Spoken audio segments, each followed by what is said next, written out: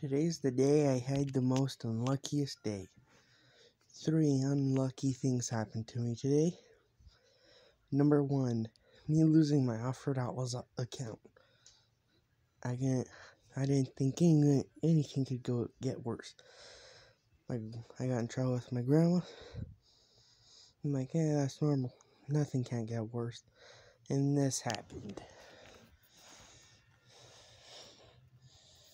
Where's that button? I sat on my my tablet and I broke the sucker.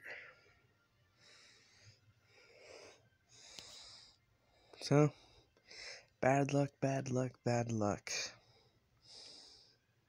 What's next? Me dying in, the, in my sleep? That's the only thing that could get worse.